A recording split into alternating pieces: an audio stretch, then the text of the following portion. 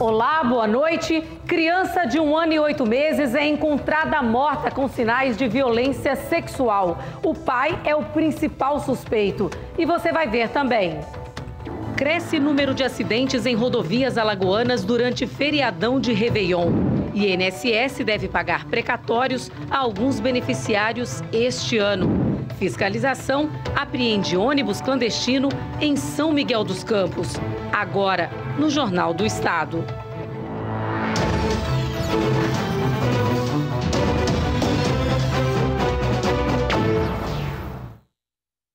Uma criança de quase dois anos foi encontrada morta no bairro de Mangabeiras com sinais de violência sexual. A polícia diz que o pai é o principal suspeito. A menina de um ano e oito meses já estava morta quando chegou na unidade de pronto atendimento em Maceió. A criança foi levada pelo próprio pai. Ela tinha lesões nos braços, cabeça e órgãos genitais. Depois de examinar a criança, a equipe médica acionou a polícia militar. Que estava com rompimento de ímã e laceração no ânus. É, diante disso, é, o pai da vítima, que é o possível suspeito, levou ela já em óbito. Foi constatado que a vítima tinha caído de, uma, de um local de segundo andar, mais ou menos, pelo pessoal da UPA, pela região, por conta que ela já chegou com o crânio totalmente, totalmente esfacelado, totalmente esfacelado, já vista que era apenas um ano e oito meses. E a própria mãe dela, própria mãe dele, que, que também está aqui, informou que o possível suspeito, que é o pai, já tentou passar a mão nela, já tem uma outra filha também que já acusa ele desse possível delito. A polícia prendeu o pai da criança ainda na UPA e um outro homem no endereço indicado pelo suspeito. Ele disse que, que foi esse paulista, sendo que o, o indivíduo que é o paulista, ele está totalmente tranquilo, está um cara com semblante, um semblante calmo. Já ele não, está todo alterado, nervoso, entendeu? A própria mãe, a própria mãe da vítima, também aponta ele como suspeito e só o Instituto Criminalista pode, pode averiguar essa situação coletando, coletando o material. O Conselho Tutelar observou e verificou que ele tem uma, uma situação de estupro em Pernambuco, Pernambuco, município que ele residia.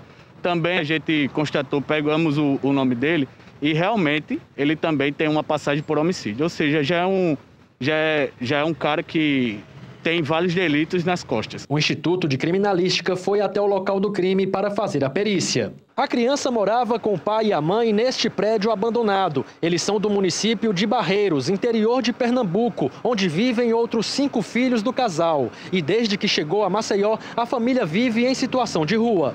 As informações são do Conselho Tutelar de Maceió, que acompanha o caso. Os conselheiros tentam contato com parentes da mãe da criança que moram em Pernambuco. O crime está sendo investigado pela Delegacia de Homicídios e Proteção à Pessoa de Alagoas. Um incêndio atingiu uma pizzaria na Massagueira. Tudo indica que o fogo teve início nos botijões de gás do estabelecimento. Um incêndio ocorreu nesta pizzaria que fica na entrada de Massagueira, em Marechal Deodoro. De acordo com um funcionário da pizzaria, que não quis gravar entrevista, disse que houve uma explosão no forno e que o fogo começou a se espalhar pela cozinha. Um alto bomba-tanque com capacidade de 5 mil litros de água foi acionado para apagar o fogo que teria iniciado nos botijões de gás. Nosso sargento da guarnição, Sargento Lacerda, adentrou o local, fez as medidas preventivas e retirou o botijão e apagamos o excesso que tinha ali lá de, de fogo e no mais só bem material mesmo. A pizzaria que funciona há poucos meses não tinha licença do Corpo de Bombeiros. Então assim, seria interessante procurar o bombeiro para é, colocar esse sistema na, na, na pizzaria, no caso.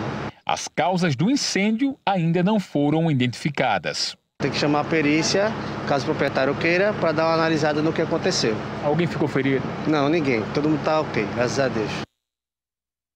Um ônibus que transportava passageiros de forma clandestina de Alagoas para o estado de São Paulo foi apreendido em São Miguel dos Campos.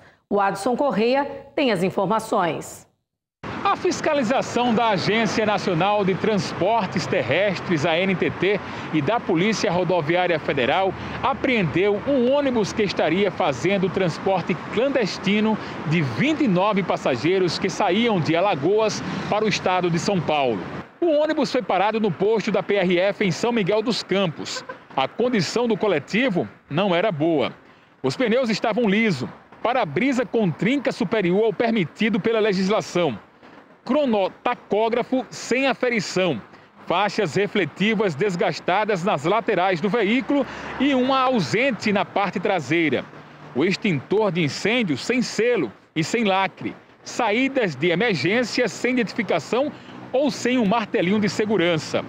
Banheiro sem condições mínimas de higiene e bem como um motorista sem curso obrigatório para a condução do transporte coletivo de passageiros.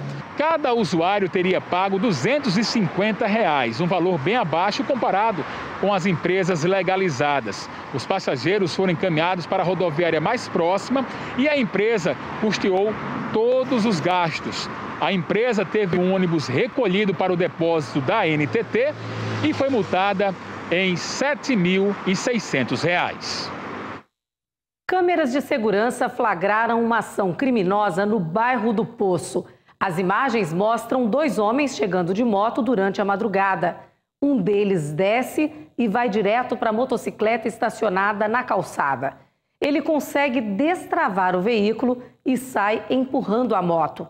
O dono registrou o boletim de ocorrência e divulgou as imagens da moto nas redes sociais. Moradores do bairro Cruzeiro do Sul, em Rio Largo, não aguentam mais a onda de assaltos no local. As câmeras de segurança de uma rua flagraram uma mulher que teve o celular roubado por dois homens numa moto por volta das 5 da manhã. Eles estavam armados e a vítima, de 51 anos, estava indo trabalhar quando foi abordada pelos marginais. A polícia militar foi acionada e as imagens devem ajudar na identificação dos dois assaltantes. Segundo o Batalhão de Polícia Rodoviária, o número de acidentes registrados nas rodovias alagoanas cresceu muito durante o feriadão de Réveillon desse ano, se comparado ao mesmo período do ano anterior. O Adson Correia traz mais detalhes. Gente agora vai falar sobre o balanço do Batalhão de Polícia Rodoviária de Alagoas durante o Réveillon, que iniciou no dia 31 e terminou ontem. Para falar sobre esse assunto, eu converso com o comandante do batalhão, Coronel Lisiário. Então, Coronel, houve um óbito registrado nesse período, né? Foi. A operação nossa começou na nas primeiras horas da quinta-feira próxima passada, dia 31, e se findou ontem por volta das 23h59. Nós contabilizamos aí um saldo de 21 acidentes, entre eles foram 11 colisões traseiras, né?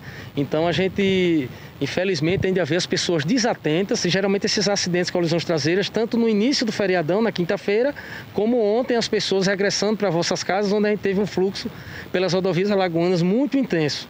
Tivemos um óbito lá na região de Paripueira, onde um ciclista tentava, tentava atravessar a rodovia, diga-se de passagem, na própria faixa de pedestre, onde foi colhido por uma condutora desatenta, inclusive sequer prestou socorro à vítima, se evadiu do local, mas alguns populares que viram o acidente identificou a mesma e já passamos todas as informações para a Polícia Judiciária para que possa vir tomar as medidas necessárias. Sobre esses acidentes envolvendo colisões, foram 21 um número bem maior com relação ao período do ano passado. Foi o ano passado nós tivemos 12 acidentes, né? não amargamos nenhum óbito.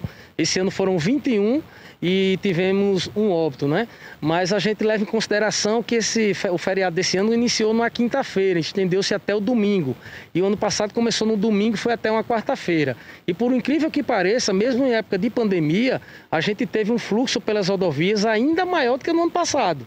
Recebemos um número de turistas bem grande esse ano, superior ao ano passado. Tivemos aí nas, nas, regiões de praia, exemplo da Barra de São Miguel, São Miguel dos Milagres, congestionamentos até. A gente até deu apoio, deu, demos esse suporte aos batalhões de área, porque o fluxo estava muito intenso até dentro do, desses próprios locais. Mas o que nos deixa bastante tranquilo é que, sobretudo na região agreste do estado, que era uma maior preocupação nossa, nós não tivemos nenhum acidente lá, sobretudo envolvendo motocicletas. Então a gente mapeou esses pontos, a gente saturou esses locais com as informações que tínhamos e deu certo.